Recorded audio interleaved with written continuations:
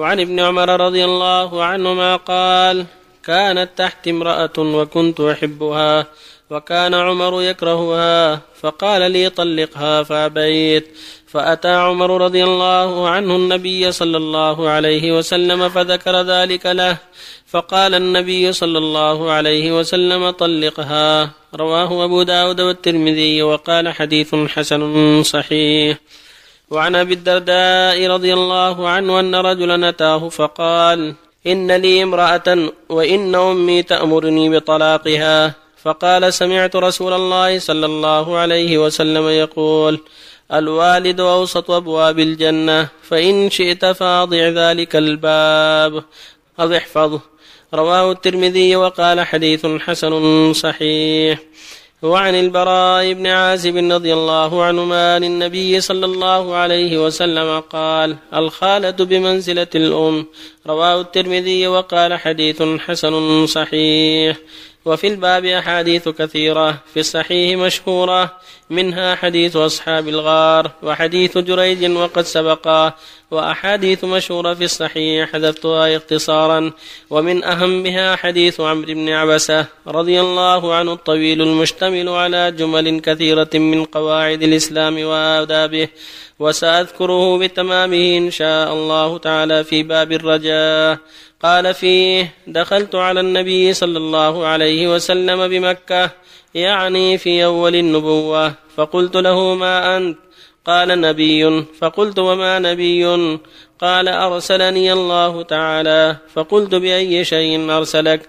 قال أرسلني بصلة الأرحام وكسر الأوثان. وأن يوحد الله لا يشرك به شيء. وذكر تمام الحديث. والله أعلم. بسم الله الرحمن الرحيم. الحمد لله وصلى الله وسلم على رسول الله وعلى آله وأصحابه ومن اهتدى بهداه. أما بعد هذه الأحاديث فيها الحث على بر الوالدين وتقدم في ذلك آيات وأحاديث كلها تدل على وجوب بر الوالدين. يقول الله عز وجل وقضى ربك ألا تعبدوا إلا إياه وبالوالدين إحسانا. ويقول سبحانه واعبدوا الله ولا تشركوا به شيئا وبالوالدين إحسانا. ويقول عز وجل أن اشكر لي ولوالديك إلي المصير. فالوالدان حقهما عظيم.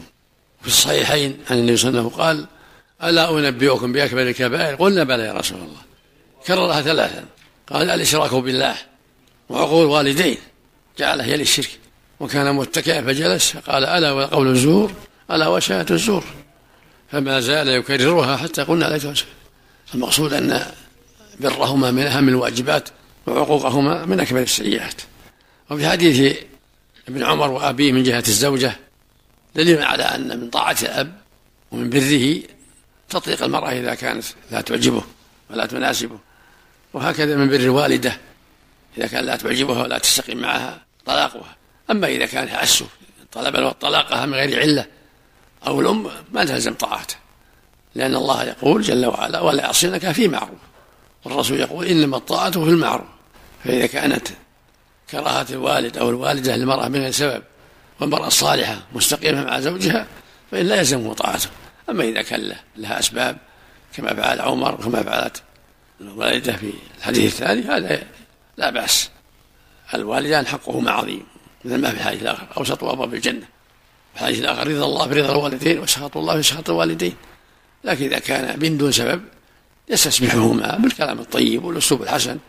ليس إذا كانت الزوجة مناسبة ودينة لا بأس بها يستسمح والديه إذا كان يأمره بالطلاق بالأسلوب الحسن والكلام الطيب ولا يلزمه إنما الطاعة في المعروف كذلك حديث البراء الخالد منزلة الأم قصة ابنة حمزة لما تبعت النبي في عمرة القضاء تقول يا عم يا عم تنازع فيها جماعة جعفر وعلي وزيد بن حارثة فقضى بها النبي الخالة قال الخالة بمنزلة الأم يعني عند فقدها كما أن العم أب فالخالة كذلك فينبغي برها والإحسان إليها كما ينبغي أيضا صلة الأعمام وبرهم والأحاديث في هذا كثيرة مثل ما أشار المؤلف الأحاديث في هذا الباب شيء كثيرة فالواجب على المؤمن أن يهتم بهذا الأمر وأن يعنى به وأن يحذر من العقوق لهما أو لأحدهما أو لبقية الأقارب ولا سيما الخالات والأخوال والأعمام والعمات.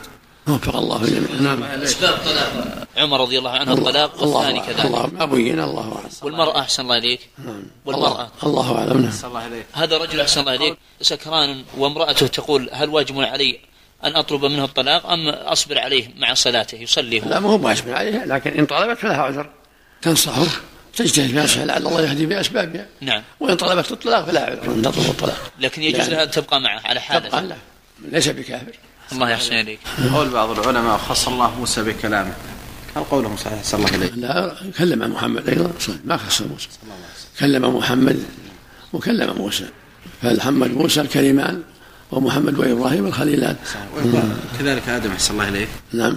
كذلك آدم قال له كيف نعم صحيح القران كلم آدم صلى الله عليه زكريا نعم، نعم. المحلات تكتب بعض المحلات تحصل على عملة التجارية يضع ورقة يقول مثلا ممنوع دخول النساء إلا بمحرم.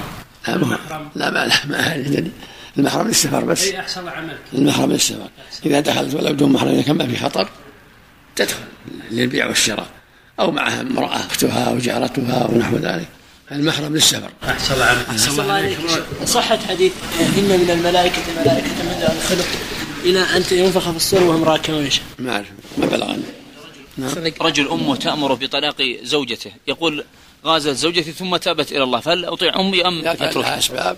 أي. تؤذي أمه ولا سيطرة اللسان أمه ولا كذا يطلق. اما إن كان نعم. المرأة ما منها خلاف. نعم. ولا فلا يستسمح أمه بالكلام الطيب. لأن الرسول يقول إنما الطاعة بالمعروف نعم. لكن يكون بالكلام الطيب والأسلوب. الحسن هل يشترط الترتيب في التيمم؟ مثل الوجه والكف امسحوا بوجهكم وايديكم ابدأوا ما بدأ الله به. طريقة المسح أحسن الله عليك يمسح وجهه بكفيه باليدين مسح اليدين. هل بالأكف ولا يتضمن؟ باطل كفيه يمسح وجهه باطل كفيه